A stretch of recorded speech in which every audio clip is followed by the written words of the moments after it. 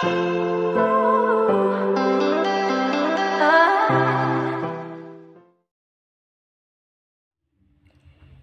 everyone, welcome back to my YouTube channel. My name is Caren Reborn. In case you're new here, kindly consider subscribing to this channel.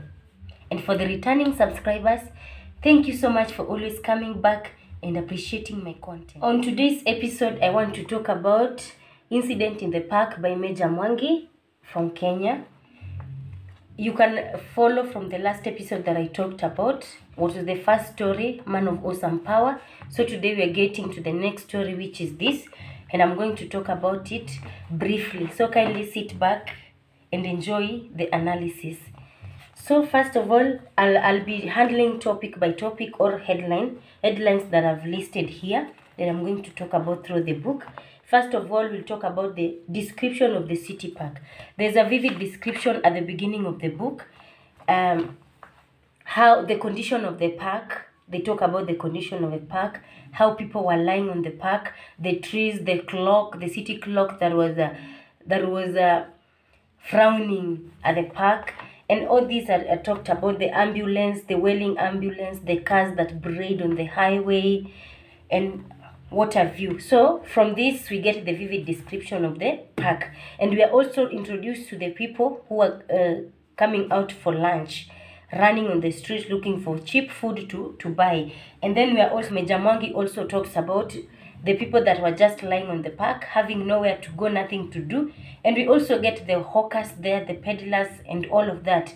So this is a busy park. So in vivid description there is a description of how the park looks like the city looks like what is there how trees are there and how um, there are there are let me let me read a part here. From the park grounds if one lay facing east one look, looked up straight into the frowning faces of parliament city hall clock. That one we are given here and again we can also see some rushed for the meat roasting places down the river road others joined the queues at the numerous there are uh, queues at the numerous fish and chips joints where they dutifully swallowed soggy fried chips with watered down ketchup. In a few seconds, thousands or so strong swarm had been swallowed up by the yawning concrete jungle.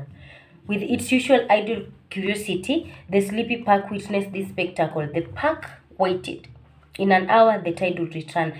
So, uh, these people are now meeting by the park from the office, from work, they're going for lunch. They are making very large queues there, as we've seen here. And again, we can see that some people are now laying helplessly here, as the other people are rushing for cheap food. The other uh, group of people are just laying there with nothing.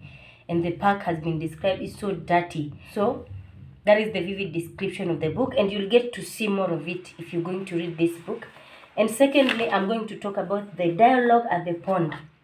There are two idlers at the pond, and this pond it's written. There's a warning there. Not do not feed fish. It's an order that has been given there. I hope you can see this.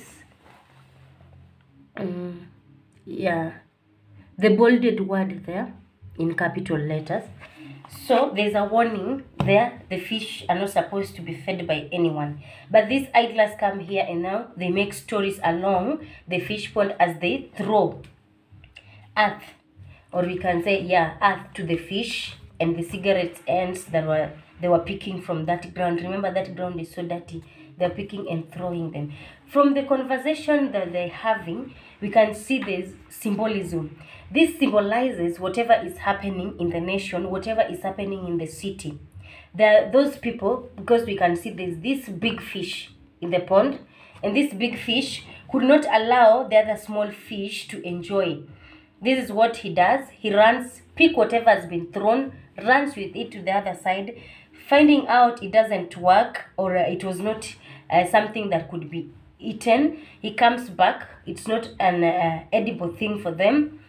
The fish comes back, picks another thing, and makes sure makes sure that no one is following the fish, or no fish is going to follow after it. So we can see that from this incident, there are some people. It symbolizes these people that are big. This fish is called the great fish. some people are so great and they don't give chance for the other people to even maneuver in the city. They cannot get what they want or what they desire or their needs in the city. That is what we get to see. And because of this uh, there's here they talk about did you know fish are like people? No they are. And then he said he turned and pointed at the frothing mass of fish looked at them. He said he picked another loose piece of earth and dropped it into the water. The fish exploded after it. See that he turned to squint at the other man. They have been doing that all morning. Watch this. And then he picks another piece piece of earth throws it unto them and then and even a flattened cigarette end. Throws it to the fish and then the big one the mighty fish the big fish or the great fish takes it goes to a different place to eat it then comes back. So this is what happened. So we can say that from this story that we're given here about the fish and the the idler the dialogue that they're having between the two of them this uh, shows whatever is going to happen. Is a, foreshadow of what, what is going to happen in the story thereafter where we're going to meet the constables. So at the beginning we get to see these people arguing about the same having a dialogue about the same and the characters that are, uh, are given fish the characters that are given to them shows exactly what the government or the people in higher authority or the people that are in higher positions do to the people who are in lower the big people in the society. So that is what we can see from this story. Getting to the next now we get to meet the true image that was portrayed by the story that was given at the beginning of the book. Now we talk about the violence. There is now violence.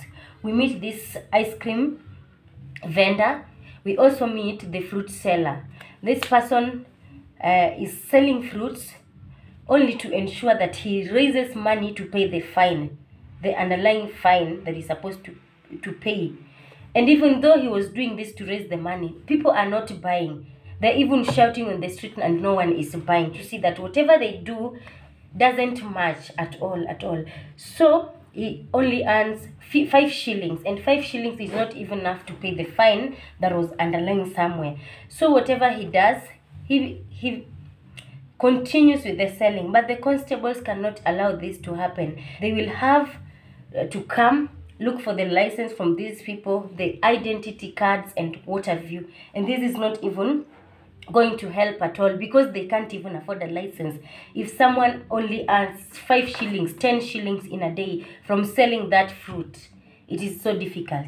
And then the, the, there are some people also who are taking advantage of this this situation and they're pretending maybe they're pretending to be them to be selling fruits or to be selling whatever and they're peddling drugs because we could see from here there were also drug peddlers.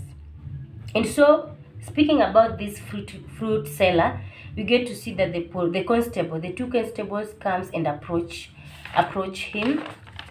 And getting there they they are so harsh on the on on this man and they want this man to pay the fine or they take the man to the to jail. And the, this man is not willing and ready to go to jail.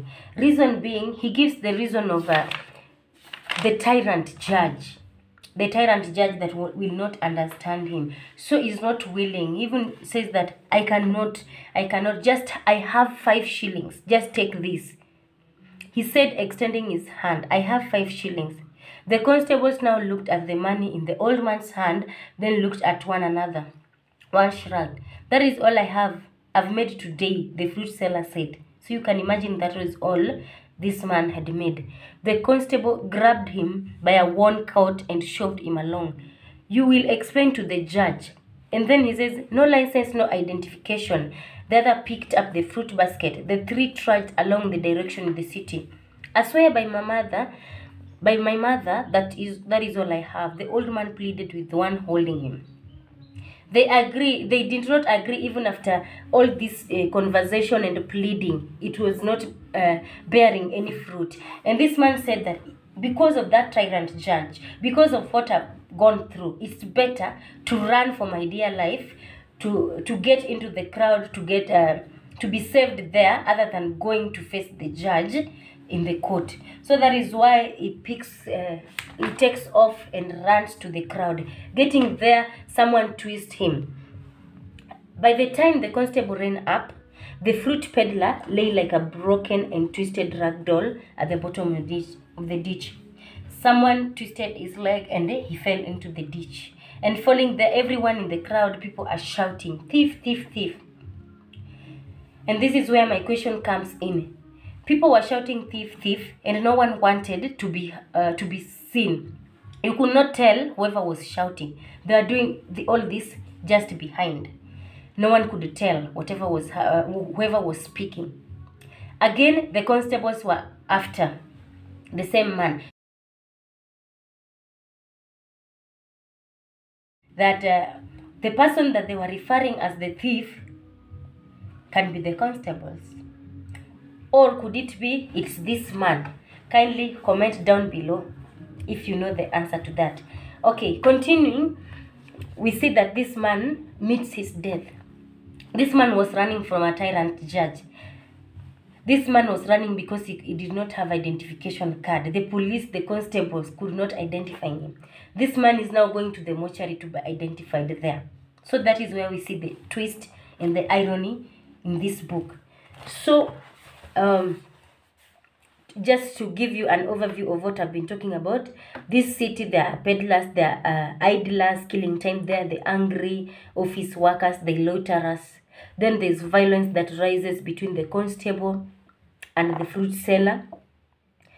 And on seeing that he could not impress the constables, he flees to find refuge in the crowded city. But instead, the cops chase him and he falls into a ditch. He is then condemned and hard for being a thief. No one even gives an ear to him to hear whatever happened or his side of story, but is now condemned as a thief. So, from this, we get to see uh, the whole story of the incident in the park, how it begins with vivid description. It now goes to the story, the metaphoric story, the symbolism, and the foreshadow of, uh, that we find the story of the fish. And then after that, they now we now meet these uh, constables together with this man who is now forced to take his dear life by running away into the crowd and the crowd do not welcome him at all in this city. That is how they treat people. So that is what we see. The constables are showing corruption. This man is trying and it's not even uh, enough for him even to pay the fine but the lack of license. Remember this man is really struggling. Getting uh, or um, affording affording a license is so difficult for a man who only vends fruits. It's so difficult. But they they just problems that people face in these big big cities. These are some of the problems that we're going to see. So uh, we'll end there for today. But uh, i'm going to talk about the questions that are can be raised from this book one by one because if i talk about them now the video will be too long. So we're going to talk about the story the questions and answer them. Many questions that are rising from this book and we are going to answer them one by one to this point. Thank you so much for always being there for me and thank you so much even for coming back to watch my videos. And we're going to close it at that point. Ensure that you tell a friend to tell a friend ensure that you subscribe if you've not subscribed. And thank you so much for your time and have a blessed time. Bye